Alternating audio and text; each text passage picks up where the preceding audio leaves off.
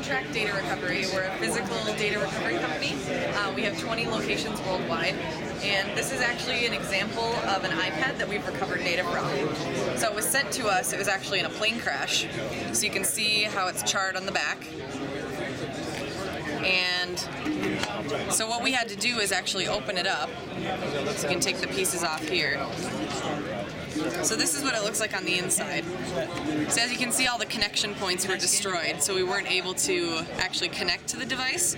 So what we had to do is actually remove the memory chips here. So this is what one of them looks like.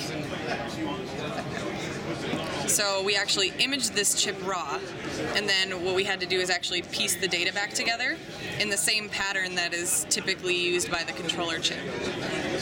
So what we were able to do is when we pieced that data back together, we were able to actually recover all of the photo and video files that the customer was looking for.